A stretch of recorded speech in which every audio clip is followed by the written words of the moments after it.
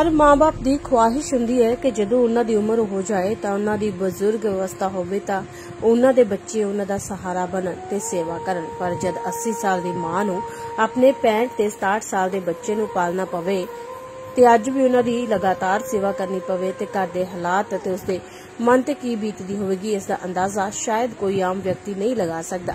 ਇਹ ਕੋਈ ਫਿਲਮੀ ਕਹਾਣੀ ਨਹੀਂ, ਬਲਕਿ ਅੰਮ੍ਰਿਤਸਰ ਵਿੱਚ ਇੱਕ ਪਰਿਵਾਰ ਦੀ ਜਿਉਂਦੀ ਜਾਗਦੀ ਹਕੀਕਤ ਹੈ, ਜਿੱਥੇ ਤਿੰਨ ਲੋਕਾਂ ਦਾ ਪਰਿਵਾਰ ਹੈ। ਅੰਮ੍ਰਿਤਸਰ ਦੇ ਪਿੰਡ ਸ਼ੀਨੇ ਦਾ ਰਹਿਣ ਵਾਲਾ ਇਹ ਪਰਿਵਾਰ ਹੈ। ਬਜ਼ੁਰਗ ਔਰਤ ਆਪਣੇ ਦੋ ਅੰਨੇ 65 ਅਤੇ 67 ਸਾਲ ਦੇ ਬੱਚਿਆਂ ਨੂੰ ਪਾਲ ਰਹੀ ਹੈ।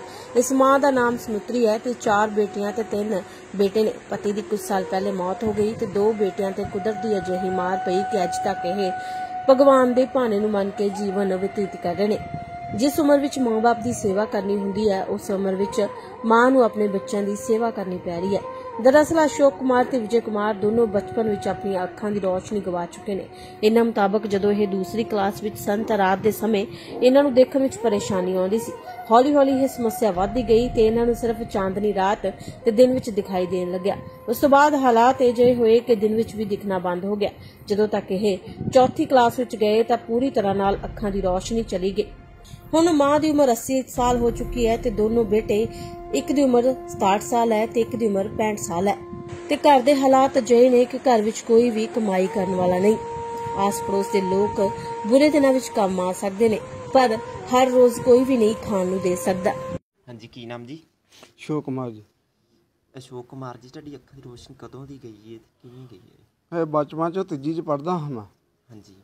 ਸਕੂਲੇ ਤੇ ਪਹਿਲਾਂ ਸ਼ਾਮੇ ਨਹੀਂ ਦਿਸਦਾ, ਫਿਰ ਦਿਸਣੋਂ ਹਟ ਗਿਆ ਸ਼ਾਮੇ ਦਰਖਤਾਂ ਦੀ, ਰਾਤ।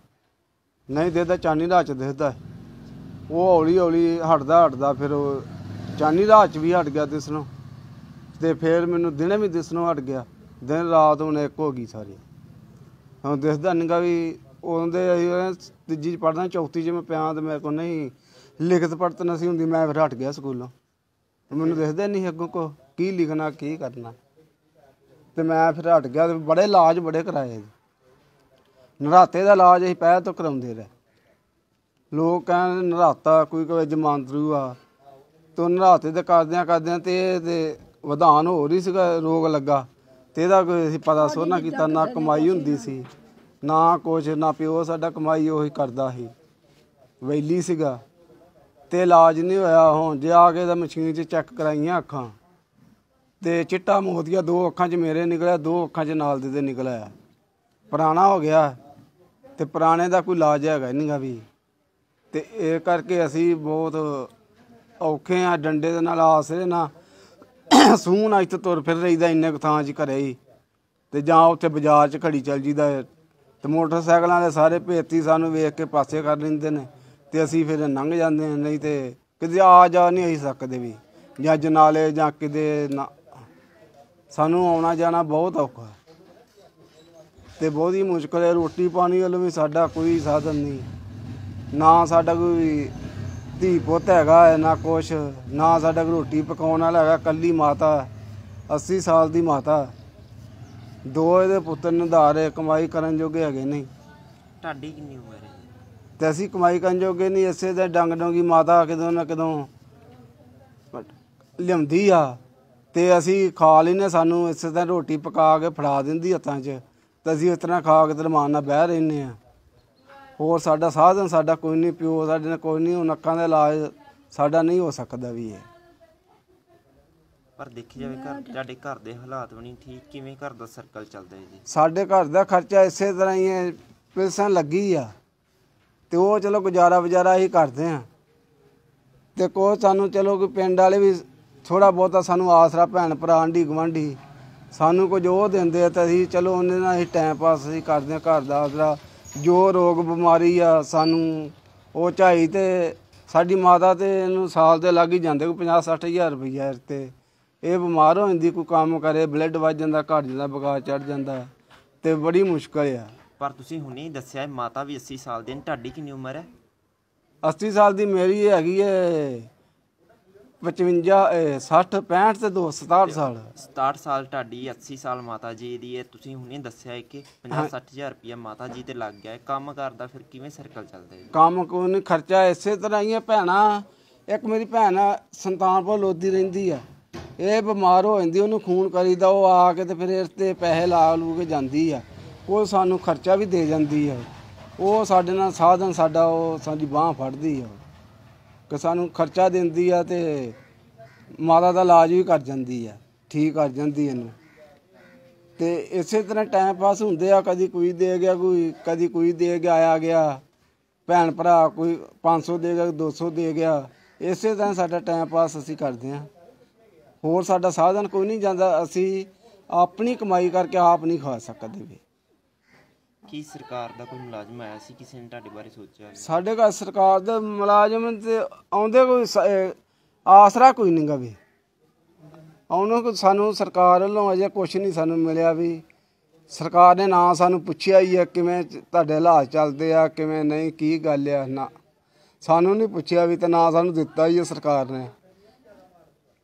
ਕਿ ਜਾਂ ਸਾਨੂੰ ਤੇ ਰਾਸ਼ਨ ਪਾਣੀ ਸਾਡਾ ਕਿ ਸਰਕਾਰੀ ਲਾਉਣ ਦੁਕਾਨ ਤੇ ਮਹੀਨੇ ਦੇ ਮਹੀਨੇ ਅਸੀਂ ਜਾ ਕੇ ਲੈ ਆਇਆ ਕਰੀਏ ਜਾਂ ਕੋਈ ਸਾਨੂੰ ਪਹੁੰਚਾ- ਲਿਆ ਦਿਆ ਕਰੇ ਨਾਲ ਚੱਲ ਜਾ ਕਰੀ ਸਾਨੂੰ ਉਹ ਸਾਧਨ ਨਹੀਂ ਕੋਈ ਵੀ ਕਿ ਜਾਂ ਸਾਡਾ ਰਾਸ਼ਨ ਲੱਗ ਜਾਵੇ ਤੇ ਇਹਨੇ ਨਾਲ ਸਾਡਾ ਹੌਸਲਾ ਜਿਹੜੀ ਕੋ 2 ਸਾਲ ਉਮਰ ਸਾ ਹੈਗੀ ਆ ਤੇ ਅਸੀਂ ਆਪਣੀ ਨਿਭਾ ਲਈਏ। ਕਿ ਲੱਗਦਾ ਨਹੀਂ ਕਿਸੇ ਵੇਲੇ ਦੁੱਖ ਹੁੰਦਾ ਹੈ ਸਾਡੀ ਅੱਖਾਂ ਦੀ ਰੋਸ਼ਨੀ ਅੱਜ ਸਹੀ ਹੁੰਦੀ ਤੇ ਅਸੀਂ ਆਪ ਆਪਣੀ ਅਸੀਂ ਇਹ ਬੜਾ ਦੁੱਖ ਆਉਂਦਾ ਅੱਖਾਂ ਦੀ ਰੋਸ਼ਨੀ ਹੁੰਦੀ ਤੇ ਅਸੀਂ ਆਪਣੀ ਕਮਾਈ ਕਰਦੇ ਤੇ ਮਾਤਾ ਨੂੰ ਪੈਸੇ ਦਿੰਦੇ।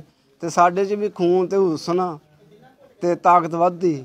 ਹੁਣ ਇਸ ਹਿਸਾਬ ਨਾਲ ਅਸੀਂ ਗਮੀ 'ਚ ਹੀ ਪੈ ਰਹਿੰਦੇ ਰਾਤ ਦਿਨੇ ਹੀ ਦਿਨੇ ਖਾਲੀ ਰਾਤ ਦਾ ਫਿਕਰ ਆ, ਤੇ ਰਾਤ ਦੀ ਖਾਲੀ ਦਿਨ ਦਾ ਫਿਕਰ ਆ। ਫਿਰ ਤੋਂ ਰਹੀ ਸਕਦੇ ਨਹੀਂ, ਗੋਡਿਆਂ ਗਾਡਿਆਂ ਤੋਂ ਤੁਸੀਂ ਉਂਝ ਰਹਿ ਕੇ ਦੁਖਦੇ ਆ, ਬੈਗ ਦੇ ਨਾਲ ਹੀ। ਇਹ ਦਵਾਈ ਕਟਾਈ ਕਰਦੇ ਰਹਿੰਦੇ ਆ, ਤੇ ਇਹਦੇ ਨਾਲ ਮਾਸਾ ਤੁਰ ਫਿਰ ਲਈਦਾ ਹੈ। ਹੋਰ ਸਾਡਾ ਕੋਈ ਇਹੋ ਜਿਹੀ 80 ਸਾਲ ਦੀ ਸਾਡੀ ਮਾਤਾ, ਦੋ ਉਹਦੇ ਪੁੱਤਰ ਨਿਧਾਰਿਆ। ਸਾਡੇ ਕਰਮਾਂ 'ਚ ਸੇਵਾ ਲਿਖੀ ਨਹੀਂ ਮਾਤਾ ਦੀ। ਐ ਉਮਰ ਦੇ ਵਿੱਚ ਹੀ ਮਾਤਾ ਦੀ ਸੇਵਾ ਕਿਜਾ ਕਰਨੀ ਕਿ ਜਾਂ 80 ਸਾਲ ਦੀ ਮਾਤਾ ਆਪਣੇ ਦੋ ਪੁੱਤਾਂ ਨਿਧਾਰਾਂ ਦੀ ਸੇਵਾ ਕਰਦੀ ਹੈ। ਰੋਟੀ ਪਾਣੀ ਦਿੰਦੀ ਹੈ, ਕਮਾਉਂਦੀ ਰੋਟੀ ਪਾਣੀ ਦੇ ਕੇ ਬਿਸਤਰਾ ਮੰਜਾ ਡਾਹ ਦਿੰਦੀ, ਵਿਛਾ ਦਿੰਦੀ, ਅਸੀਂ ਪੈ ਜੰਨੇ ਲੰਮੇ। ਕਜਾ ਨਹੀਂ ਤੇ ਕੋਈ ਦੁਨੀਆ ਤੇ ਇਸ ਤਰ੍ਹਾਂ ਕੋਈ ਚੱਲਦੀ ਕਿਸੇ ਨਹੀਂ ਵੇਖੀ, ਜੋ ਸਾਡੇ ਨਾਲ ਨਰਕਾਂ ਚ ਹੀ ਇਸ ਹਿਸਾਬ ਤੇ ਪੈ ਬਹੁਤੇ ਜ਼ਿਆਦਾ ਹੀ। ਇਹੋ ਜਿਹਾ ਨਰਕ ਮਹਾਰਾਜ ਪਰਮੇਸ਼ਰ ਜੀ ਕਿਸੇ ਨੂੰ ਨਰਕਾਂ ਚ ਪਾਵੇ ਨਾ ਜਿਹੋ ਜਿਹਾ ਸਾਡੇ ਤੇ ਨਰਕ ਹੈ। ਰਾਤ ਦਿਨ ਦਾ ਨਰਕ ਹੈ, ਸੁੱਖ ਇੱਕ ਘੜੀ ਦਾ ਵੀ ਨਹੀਂ ਸਾਡੇ ਕੋਲ। ਕੀ ਕਦੀ ਸੋਚਿਆ ਨਹੀਂ ਸੀ ਅੱਜ ਅਸੀਂ ਮਤਲਬ ਸਾਨੂੰ ਅੱਖਾਂ ਦੀਦਾ ਸਾਡਾ ਵਿਆਹ ਹੁੰਦਾ।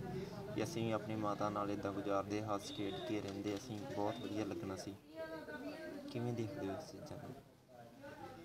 ਇਹਨਾਂ ਨੂੰ ਸੁਣਨਾ।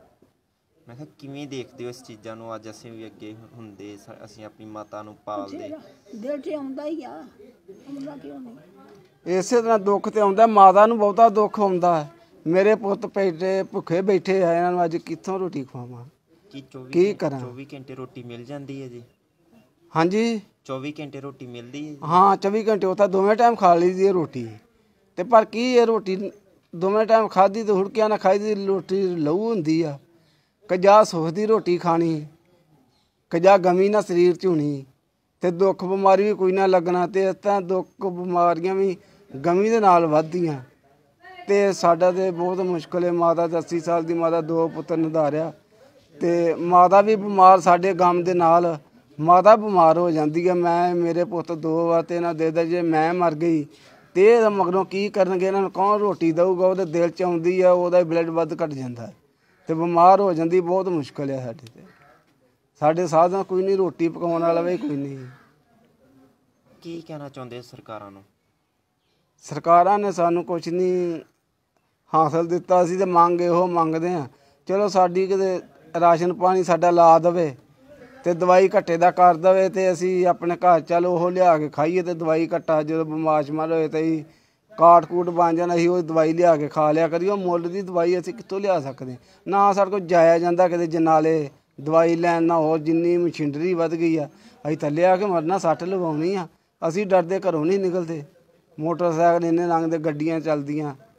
ਤੇ ਕਿਸੇ ਦੇ ਸਾਧਨ ਨਾਲ ਜਾਈਦਾ, ਤੈਨੂੰ ਪਤਾ ਲੋਕਾਂ ਦੇ ਕਾਰੋਬਾਰ ਆਪਣੇ ਬੜੇ ਆ। ਤੇ ਕੋਈ ਨਾਲ ਨਹੀਂ ਚੱਤੇ ਘੜੀਆਂ ਤੁਰਦਾ। ਤੇ ਲੋਕਾਂ ਸਾਰੇ ਆਪਣਾ ਆਪਣੇ ਜੀਆਂ ਦੇ ਪਰਿਵਾਰ ਪਾਲਣਾ। ਤੇ ਸਾਡੇ ਮਗਰ ਥੋੜਾ ਕਿਸੇ ਨੇ ਤੁਰੇ ਫਿਰਨਾ ਅਗਲੇ ਅੱਜ ਉੱਥੇ ਜਾਣਾ ਤੁਹਾਨੂੰ ਲੈ ਕੇ ਉੱਥੇ ਜਾਣਾ। ਇਸ ਤਰ੍ਹਾਂ ਕੋਈ ਸਾਰਿਆਂ ਨੂੰ ਆਪੋ ਤਾਂ ਵੀ ਆ ਪਈ ਤੇ ਇੱਕ ਦੂਜੇ ਨੂੰ ਕੀ ਕਰਨਾ ਕਿਸੇ ਨੇ। ਤੇ ਅਸੀਂ ਤੇ ਬਹੁਤ ਔਖੇ ਆ ਬਹੁਤ ਸਾਡੀ ਮੁਸੀਬਤ ਭਰੀ ਹੈ ਤੇ। ਇਹ ਧਰਤੀ ਤੇ ਤੇ ਅਸੀਂ ਹੁਣ ਆ ਗਏ ਗਾਂ ਫੇਰ ਕੀ ਪਤਾ ਹੋਣਾ ਹੈ ਕਿ ਨਹੀਂ ਹੋਣਾ। ਹਾਂਜੀ ਕੀ ਨਾਮ ਜੀ? ਵਿਜੇ ਕੁਮਾਰ ਜੀ। ਕਿੰਨੀ ਉਮਰ ਜੀ ਵਿਜੇ? 65 ਸਾਲ ਦੀ ਵਿਜੇ ਕੁਮਾਰ ਜੀ ਜਿਹੜੀ ਤੁਹਾਡੀ ਅੱਖਾਂ ਦੀ ਰੋਸ਼ਨੀ ਕਦੋਂ ਦੀ ਗਈ ਹੈ ਤੇ ਕੀ ਕਹਿਣਾ ਚਾਹੁੰਦੇ ਹੋ? ਪਹਿਲਾਂ ਚੰਗੇ ਭਲੇ ਹਾਂ। ਮੁੜ ਕੇ ਘਰ ਦੇ ਘਰ ਦੇ ਹੌਲੀ ਹੌਲੀ ਜਗਦਾ ਗਿਆ ਕਹਿੰਦੇ ਚੰਗੇ ਭਲੇ ਮੁੜ ਕੇ ਘਰ ਦੇ ਘਰ ਦੇ ਘੜ ਗਈ ਕਿੰਨਾ ਟਾਈਮ ਸਹੀ ਸੀ ਰੋਸ਼ਨੀ ਤੁਹਾਡੀ ਅੱਖਾਂ ਦੀ ਹੁਣ ਤੇ ਹੁਣ ਤੇ ਮੇਰੀ ਤਾਂ ਕੋਈ ਨਹੀਂ ਹੈਗੀ ਛੁੱਟੀਆਂ ਦਾ ਤਾਂ ਮਤਲਬ ਕਿੰਨਾ ਟਾਈਮ ਤੁਸੀਂ ਸਕੂਲ ਜਾਂਦੇ ਹੁੰਦੇ ਸੀ ਦੱਸਿਆ ਸੀ ਉਦੋਂ ਸਕੂਲੇ ਨਿੱਕੇ ਜਾਂਦਾ ਹੁੰਦਾ ਸੀ ਮੈਂ ਨਹੀਂ ਮੈਂ ਨਹੀਂ ਗਿਆ ਜੀ ਅੱਛਾ ਤੇ ਉਦੋਂ ਨਿਗਾਹ ਸਹੀ ਸੀ ਤੁਹਾਡੀ ਉਦੋਂ ਨਹੀਂ ਉਦੋਂ ਸਹੀ ਸੀ ਅੱਛਾ ਉਦੋਂ ਹੀ ਮੁੜ ਕੇ ਪੜ੍ਹਦੇ ਨਹੀਂ ਕੀ ਵੀ ਕਿਹਾ ਜਾਂਦਾ ਕਿ ਤੁਹਾਨੂੰ ਦਿਨੇ ਦਿਖਦਾ ਸੀ ਰਾਤ ਨੂੰ ਅੱਖਾਂ ਦੀ ਰੋਸ਼ਨੀ ਚਲੀ ਜਾਂਦੀ ਸੀ। ਉਦੋਂ ਸਾਨੂੰ ਰਾਤ ਨੂੰ ਰਾਤ ਨੂੰ ਰਾਤ ਨੂੰ ਕੱਲ ਹੀ ਦੇਦਾ ਤੇ ਮੁੜ ਕੇ ਉਹ ਦਿਨ ਹੌਲੀ ਹੌਲੀ ਘਰ ਦੀ ਘਰ ਦੀ ਉਹ ਦਿਨ ਵੀ ਲੈਟ ਪੈ ਗਈ ਸਾਡੀ ਪਰ ਵਿਜੇ ਕੁਮਾਰ ਜੀ ਅਸੀਂ ਦੇਖੇ ਤੁਹਾਡੇ ਘਰ ਦੇ ਹਾਲਾਤ ਬਹੁਤ ਹੀ ਮਤਲਬ ਕੀ ਕਹਿਣਾ ਚਾਹੁੰਦੇ ਹੋ ਜੀ? ਇਹੋ ਗੱਲ ਨਹੀਂ ਕਿ ਚਲੋ ਸਾਡਾ ਕੋਈ ਦਵਾਈ ਘਟਾ ਆਇਆ ਕਰੇ ਜਾਂ ਰਾਸ਼ਨ ਪਾਣੀ ਮਿਲ ਜਾ ਕਰੇ। ਹੋਰ ਬਸ ਇਹੋ ਹੀ ਹੋਰ ਅਸੀਂ ਕੀ ਕਰ ਸਕਦੇ ਨੇ? ਕਾਹੀ ਜੋਗੇ ਵੀ ਨਹੀਂ ਹੈਗੇ। ਕੰਮ ਹੀ ਨਹੀਂ ਆ ਕੋਈ ਵੀ ਕਰਨਾ ਤੇ ਸਿੱਤੇ ਤੇ ਬੈਠੇ ਰਹਿਣਾ। ਵਿਜੇ ਕੁਮਾਰ ਜੀ ਅੱਜ ਲੱਗਦਾ ਨਹੀਂ ਦੁੱਖ ਪਹੁੰਚਦਾ ਹੋਵੇ ਆਪਣੇ ਆਪ ਨੂੰ ਵੀ ਜਿੱਥੇ ਅਸੀਂ ਅੱਜ ਮਾਤਾ ਨੂੰ ਖਵਾਉਣਾ ਸੀ ਉੱਥੇ ਮਾਤਾ ਜੀ ਸਾਨੂੰ ਅੱਜ ਆਪ ਖਵਾ ਰਹੇ ਨੇ ਜਿੱਥੇ ਆਪ ਮਾਤਾ ਜੀ 80 ਸਾਲ ਦੇ ਹੋ ਗਏ ਨੇ। ਅਸੀਂ 65 ਸਾਲ ਦੇ ਹੋ ਕੇ ਮਤਲਬ ਮਾਤਾ ਸਾਨੂੰ ਪਾਲਦੀ ਪਈ ਏ। ਕਿਵੇਂ ਲੱਗ ਰਿਹਾ ਕਿਵੇਂ ਦਿਲ ਨੂੰ ਪਹੁੰਚਦਾ ਨਹੀਂ ਦੁੱਖ ਨਹੀਂ ਪਹੁੰਚਦਾ ਕਿਸੇ ਵੇਲੇ? ਆਹ ਮਾਤਾ 80 ਸਾਲ ਦੀ ਹੋ ਗਈ ਉਮਰ। ਹੁਣ ਸਾਨੂੰ ਰੋਟੀ ਦਿੰਦੀ ਆ ਬੈਠਿਆਂ ਨੂੰ। ਬੈਠਿਆਂ ਨੂੰ ਪਾਣੀ ਪਿਲਾਉਂਦੀ ਬੈਠਿਆਂ ਨੂੰ ਬਿਸਤਰਾ ਵਿਛਾਉਂਦੀ ਆ। ਤੇ ਸਾਨੂੰ ਮੰਜੀ ਤੇ ਦਿੰਦੇ ਅਸੀਂ ਸੌ ਜਾਂਦੇ ਆ। ਤੇ ਦਿਨੇ ਫਿਰ ਕਹਿੰਦਾ ਇਹੋ ਇਹੋ ਕਰਦੀ ਜਿਹਨੇ ਕਿ ਇਹ ਦੱਸ ਕਿੰਨਾ ਕੁਛ ਕਰੇ ਨੀ ਉਮਰ ਆ ਤੇ ਕੰਮ ਨਹੀਂ ਰੋਟੀ ਪਾਣੀ ਨਹੀਂ ਖਵਾ ਸਕਦੀ ਉਹਦਾ ਫਿਰ ਦਵਾਈ ਬੂਟੀ ਦਾ ਇਹ ਦਵਾਈ- ਹਮੇਸ਼ਾ ਆਪਾਂ ਦੇਖਿਆ ਜਾਵੇ ਕੱਲਾ ਰੋਟੀ ਪਾਣੀ ਦਾ ਨਹੀਂ ਹੁੰਦਾ ਜਿੰਨੀ ਜਿੰਨੀ ਉਮਰ ਹੁੰਦੀ ਹੈ ਨਾਲ ਦਵਾਈਆਂ ਬੂਟੀਆਂ ਤੇ ਬੰਦਾ ਚੱਲਦਾ ਹੈ। ਤੇ ਦਵਾਈਆਂ ਬੂਟੀਆਂ ਦਾ ਕਿਵੇਂ ਖਰਚਾ ਹੁੰਦਾ ਹੈ ਜੀ? ਇਹ ਖਰਚਾ ਫਿਰ ਤੇ ਮਾਇਆ ਵੀ ਆਪਣਾ ਕੋਈ ਨਾ ਕੋਈ ਆਉਂਦਾ ਜਾਂਦਾ ਕੋਈ ਦੇ ਜਾਂਦਾ ਤੇ ਸਹੂਲਤ ਹੋ ਜਾਂਦੀ ਹੈ ਉਹਦਾ ਵਿਚਾਰਾ ਕਰੀ ਜਾਈਦਾ। ਉਹ ਦਵਾਈ ਘਟਾ ਵਾ ਲਈਦਾ ਤੇ ਕੋ ਕੋਹ ਆਪਣਾ ਰਾਸ ਪਾਣੀ ਲਈਦਾ ਮਾਤਾ ਜੀ ਨੇ ਦੱਸਿਆ ਸੀ ਕਿ ਤਿੰਨ ਬੇਟੀਆਂ ਨੇ ਤਿੰਨ ਭਰਾ ਨੇ ਤੇ ਹਾਲ ਚਾਲ ਪੁੱਛਣ ਆਉਂਦੇ ਨੇ ਜੀ। ਆ ਆਉਂਦੇ ਜੀ। ਹਾਲ ਚਾਲ ਆਉਂਦੇ ਆ। ਹੁੰਦੇ ਕੱਲ ਪਰਸੋਂ ਆਇਆ ਸੀ। ਖਰਚਾ ਖੁਰਚਾ ਦੇ ਕੇ ਆਇਆ ਤੇ ਰਾਤ ਰਾਖ ਦੇ ਦਿਨ ਚਲਾ ਗਿਆ ਸੀ। ਉਹ ਵੀ ਬਿਮਾਰ ਬੜਾ ਰਹਿੰਦਾ। ਕੀ ਕਹਿਣਾ ਚਾਹੁੰਦੇ ਹੋ ਮਤਲਬ ਕਿਵੇਂ ਦਾ ਲੱਗਦਾ ਦਿਲ ਨੂੰ ਦੁੱਖ ਕਿਵੇਂ ਦਾ ਪਹੁੰਚਦਾ ਅਸੀਂ ਅੱਜ ਦੇਖਦੇ ਤੇ ਸਾਡਾ ਮਤਲਬ ਵਿਆਹ ਹੋਇਆ ਹੁੰਦਾ ਅਸੀਂ ਅੱਜ ਤੇ ਸਾਡਾ ਵਿਆਹ ਹੋਇਆ ਹੁੰਦਾ ਤੇ ਅਸੀਂ ਵੀ ਆਪਣਾ ਘਰੋਂ ਅਸੀਂ ਤੁਰ ਫਿਰਦੇ ਸਾਰੇ ਬੱਚੇ ਹੁੰਦੇ ਤੇ ਸਾਨੂੰ ਖਵਾਉਂਦੇ। ਹੁਣ ਅਸੀਂ ਕਾਹੇ ਜੋਗੇ ਨਹੀਂ ਹੈਗੇ। ਹੁਣ ਕੀ ਕਰ ਸਕਦੇ? ਦੁੱਖ ਨਹੀਂ ਪਹੁੰਚਦਾ ਕਿ ਮਾਤਾ ਸਾਨੂੰ ਪਾਲਦੀ ਪਈ ਹੈ ਜਿੱਥੇ ਅਸੀਂ ਉਹਨੂੰ ਪਾਲਣਾ ਸੀ। ਆਓ ਮਾਤਾ ਸਾਨੂੰ ਪਾਲਦੀ ਹੁਣ ਦੱਸ ਕਦਾ ਅਸੀਂ ਇਹਨਾਂ ਨਹੀਂ ਪਾਲਣਾ ਸੀ ਇਹਨੂੰ ਸੇਵਾ ਕਰਨੀ। ਹੁਣ ਕਦਾ ਇਹ ਇਹ ਸਾਡੀ ਸੇਵਾ ਕਰਦੀ ਆ। ਹਾਂਜੀ? ਆਹ ਗੱਲ ਤੇ ਆ ਬਾਤ ਹੈ। ਪਰ ਪਿੰਡ ਵਾਲਿਆਂ ਦਾ ਇਹ ਵੀ ਕਹਿਣਾ ਹੈ ਕਿ ਮਤਲਬ ਤੁਸੀਂ ਕਿਤੇ ਬਾਹਰ ਨਹੀਂ ਜਾ ਸਕਦੇ ਕਿਤੇ ਨਹੀਂ ਜਾ ਸਕਦੇ ਸਿਰਫ ਘਰੇ ਰਹਿੰਦੇ ਹੋ। ਕੀ ਵਜ੍ਹਾ ਹੈ ਇਸ ਦੀ? ਨਹੀਂ ਪਿੰਡਾਂ ਦੇ ਸਹੂਲਤ ਦਿੰਦੇ ਆ ਬਾਂਹ ਫੜ ਕੇ ਲੈ ਦਿੰਦੇ ਆ। ਤੇ ਬਾਹਰ ਜਾਣਾ ਉੱਥੇ ਬਾਹਰ ਆਪੇ ਫ- ਬਾਲ ਫੜ ਕੇ ਲੈ ਦਿੰਦੇ ਆ ਸਿਆਣੇ ਵੀ ਫੜ ਕੇ ਲੈ ਦਿੰਦੇ। ਤੇ ਮੋਟਰਸਾਈਕਲ ਲੰਘਦੇ ਆ ਤੇ ਉਹ ਆਪੇ ਹੀ ਖੜਾ ਕੇ ਪਰੇ ਹੋ ਜਾਂਦੇ ਆ ਤੇ ਅਸੀਂ ਲੰਘ ਜਾਂਦੇ ਆ। ਪਰ ਜਦੋਂ ਬਿਮਾਰ ਹੁੰਦੇ ਹੋ ਫਿਰ ਕਿਦਾਂ ਤੁਹਾਨੂੰ ਬਾਜ਼ਾਰਾਂ 'ਚ ਦਵਾਈਆਂ ਲੈਣ ਜਾਂਦੇ? ਸੜਕ ਅਸੀਂ ਐਕਸੇ ਲਾਗੇ ਬਣੇ ਹੋਏ ਸੜਕ ਜਨਾਲਾ ਜੁੜੇ ਤੇ ਜਾ ਨਹੀਂ ਆ ਕਿਤੇ ਵੀ ਨਹੀਂ ਜਾ ਤੁਰਾ ਫਿਰਿਆ ਨਹੀਂ ਜਾਣਾ ਤੇ ਰੋ, ਤੈਨੂੰ ਪਤਾ ਕਿ ਸਮੁੰਦਰੀ ਮੋਟਰਸਾਈਕਲ ਬਹੁਤ ਆ, ਗੱਡੀਆਂ, ਟਰੱਕ ਵਾਧੂ ਆ ਤੇ ਰਸਤਾ ਤਾਂ ਹੈਗਾ ਨਹੀਂ, ਜਿੰਨਾ ਜਿੰਨੀ ਦੁਨੀਆ ਵੱਧ ਗਈ ਹੈ ਤੇ ਭੀੜ ਬੜੀ ਹੁੰਦੀ ਨਹੀਂ ਨਿਕਲ ਰਹਿੰਦਾ। ਇੱਥੇ ਪਿੰਡ ਵਾਲੇ ਤੇ ਬਾਹ ਫੜ ਪਿੰਡ ਵਾਲੇ ਤੇ ਬਾਹ ਫੜ ਕੇ ਲੈ ਜਾਂਦੇ ਆ, ਕਦੀ ਉੱਥੇ ਕਦੀ ਉੱਥੇ। ਤੇ ਹੋਰ ਸਾਡਾ ਕੰਮ ਨਹੀਂ ਨਹੀਂ ਹੁੰਦਾ। ਕੀ ਕੀ ਕੋਈ ਸਰਕਾਰੀ ਮੁਲਾਜ਼ਮ ਆਇਆ ਹੈ ਘਰ? ਸਰਕਾਰੀ ਮਾਨ ਆਉਂਦੇ ਤੇ ਆ ਹੁਣ ਕੀ ਤਾਂ ਕਰੇ ਸਾਨੂੰ ਕਿਹੜੀ ਨਿਗਾਹ ਗਈ ਉਹ ਕਿਹੜੇ ਵੇਖਣਾ। ਕੋਈ ਚਲੋ ਜੇ ਨਹੀਂ ਨਿਗਾਹ ਹੈਗੀ ਕੋਈ ਸਹੂਲਤ ਸਾਲਤ ਮਿਲੀ ਅਜੇ ਤੱਕ? ਨਾ ਸਹੂਲਤ ਸਾਨੂੰ ਸਾਨੂੰ ਨਹੀਂ ਮਿਲੀ। ਕੀ ਕੋਈ ਸਰਕਾਰੀ ਮੁਲਾਜ਼ਮ ਨੇ ਆ ਕੇ ਕੁਛ ਨਹੀਂ? ਕੀਤਾ? ਨਹੀਂ ਸਾਨੂੰ ਕਿਸੇ ਨੇ ਦੱਸਿਆ ਡਾਕਟਰ ਹੈਗਾ ਜੀ। ਅਸੀਂ ਨਾ ਚਾਹਾਂ ਜਾਣਾ ਦਾ ਮਕਾਨ ਬਣਾ ਕੇ ਦਿੱਤਾ ਜੀ। ਆ ਹੁਣ ਕਿਲੇ ਸਾਰ ਤੇ ਸਰਕਾਰ ਕੋਲੋਂ ਕੀ ਮੰਗ ਕਰਦੇ? ਸਰਕਾਰ ਕੋਲ ਕੋਈ ਨਹੀਂ ਮਿਲਿਆ। ਕੁਛ ਨਹੀਂ ਮਿਲਿਆ। ਪਰ ਹੁਣ ਕੀ ਮੰਗ ਕਰਦੇ ਹੋ?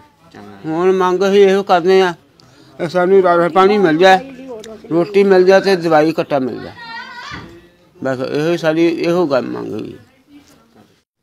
ਹਾਂਜੀ ਮਾਤਾ ਜੀ ਕੀ ਨਾਮ ਜੀ? ਕੀ ਨਾਮ ਜੀ? ਸਮਿਤਰੀ ਮਾਤਾ ਜੀ ਤੁਹਾਡੇ ਜੋ ਬੇਟੇ ਨੇ ਜੋ ਅੱਖਾਂ ਤੋਂ ਨਹੀਂ ਦਿਖਦਾ ਉਹਨਾਂ ਦਾ ਕੀ ਨਾਮ ਹੈ? ਉਹਨਾਂ ਦਾ ਸ਼ੌਕ ਕਮਾਇਆ ਇੱਕ ਨਵੀਂ ਜੇ ਕਮਾ ਕੀ ਹੋਇਆ ਸੀ ਇਹਨਾਂ ਨਾਲ ਜੋ ਇਹਨਾਂ ਨੂੰ ਨਹੀਂ ਦਿਖਾਇਆ? ਪਤਾ ਨਹੀਂ ਰੱਬ ਵੱਲੋਂ ਕੁਝ ਹੋ ਗਿਆ ਹੁੰਦਾ ਹੁੰਦਾ ਹੋ ਗਿਆ। ਕੀ ਮਤਲਬ? ਇਲਾਜ ਲੂਜ ਕਰਦੇ ਰਹੇ ਨਹੀਂ ਰਾਮ ਆਇਆ। ਕੀ ਜਦੋਂ ਜੰਮੇ ਸੀ ਉਦੋਂ ਹੀ ਨਹੀਂ ਦਿਖਦਾ ਸੀ ਕਿ ਮਤਲਬ ਬਾਅਦ ਵਿੱਚ ਨਹੀਂ ਦਿਖਣਾ ਸ਼ੁਰੂ ਹੋਇਆ? ਬਾਹਰ ਬਾਹਰ ਚ ਦਿਸਣ ਹਟਿਆ ਪਹਿਲਾਂ ਦੇਖਦਾ ਸੀ। ਅੱਛਾ। ਜਦੋਂ ਸਕੂਲ ਜਾਂਦੇ ਸੀ ਉਦੋਂ ਦਿਖਦਾ ਸੀ। ਕਿੰਨਵੀਂ ਚ ਇਹਨਾਂ ਨੇ ਜਾ ਕੇ ਰੋਸ਼ਨੀ ਗਈ? ਉਹਨੇ ਪਹਿਲੇ ਦੂਸਰੀ ਚ ਸੀ ਅਜੇ ਨਿਆਣੇ ਸੀ। ਦੋਵਾਂ ਦੀ ਉਦੋਂ ਚਲੀ ਗਈ ਸੀ ਰੋਸ਼ਨੀ ਕਿ ਉਹ ਦੋਵਾਂ ਦੀ ਇੱਕੋ ਵਾਰੀ ਗਈ। ਦੋਵਾਂ ਦੀ ਇੱਕੋ ਵਾਰੀ ਗਈ ਸੀ। ਕਿੰਨੇ ਬੱਚੇ ਸੀ ਤੁਹਾਡੇ ਸਾਰੇ? ਸਾਰੇ ਮੈਂ ਚਾਰ ਕੁੜੀਆਂ ਤੇ ਤਿੰਨ ਮੁੰਡੇ। ਕੀ ਉਹ ਆਉਂਦੇ ਨੇ ਹਾਲ ਚਾਲ ਪੁੱਛਣ ਆਉਂਦੇ ਆ ਪੁੱਛਦੇ ਆ। ਜਿੱਦਾਂ ਤੁਹਾਡੇ ਘਰ ਦੇ ਹਾਲਾਤ ਦੇਖੇ ਗਏ ਨੇ ਕਿਵੇਂ ਕੀ ਕਹਿਣਾ ਚਾਹੁੰਦੇ ਹੋ? ਉਹ ਫਿਰ ਇਸੇ ਤਰ੍ਹਾਂ ਹੀ ਆਸਰਾ ਉਸਰਾ ਦਿੰਦੇ ਰਹਿੰਦੇ ਤੇ ਫਿਰ ਇਸ ਤਰ੍ਹਾਂ ਇਹਨਾਂ ਦੀ ਲੰਘ ਜਾਂਦਾ ਗੁਜ਼ਾਰਾ। ਕਿਸ ਤਰ੍ਹਾਂ ਇਹਨਾਂ ਦੀ ਦੇਖਭਾਲ ਕਰਦੇ ਹੋ ਤੁਸੀਂ? ਐਸੇ ਤਰ੍ਹਾਂ ਹੀ ਆ ਬਿਸਤਰੇ ਵਿਛਾ ਦਿੰਨੀ ਬਹਿ ਜਾਂਦੇ। ਮੰਜੇ ਵਿਛਾ ਦੇ ਡਾ ਦਿਨ ਤਦ ਪੈਂਦੇ। ਹੁਣ ਵੇਖੋ ਬਾਹੋਂ ਫੜ ਫੜ ਕੇ ਬਾਉਂਦਾ ਵਾਹ ਕੇ ਰੋਟੀ ਪਾਣੀ ਇਹਨਾਂ ਨੂੰ ਦੇਣੀ ਆ ਕੋਈ ਕਿਸੇ ਮੇਨ ਕੋਈ ਬੰਦਾ ਆਇਆ ਹੈ ਤੁਹਾਡੀ ਕਿਸੇ ਨੇ ਹੈਲਪ ਕੀਤੀ ਹੋਵੇ ਜਾਂ ਸਹਾਇਤਾ ਕੀਤੀ ਹੋਵੇ? ਆਹੋ ਕਰਦੇ ਜਿੰਨੀ ਜੋਗੇ ਹੁਣ ਕਰਦੇ ਆ।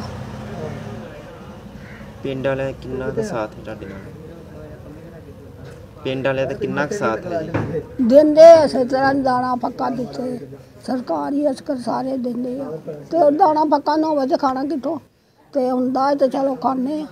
ਕੋਈ ਸਰਕਾਰੀ ਮੁਲਾਜ਼ਮ ਆਇਆ ਜਿਹਨੇ ਤੁਹਾਡੀ ਸੁਣ ਕੀਤੀ ਹੋਵੇ? ਹੁਣ ਆਏ ਤਾਂ ਬਥੇਰੇ ਸੀ ਮੈਨੂੰ ਨਹੀਂ ਪਤਾ। ਸੰਸਕਾਰ ਵਾਲਿਆਂ ਨੇ ਸਾਨੂੰ ਕੋਈ ਆ ਇਹਨਾਂ ਨੂੰ ਪਤਾ ਮੈਨੂੰ ਨਹੀਂ ਪਤਾ।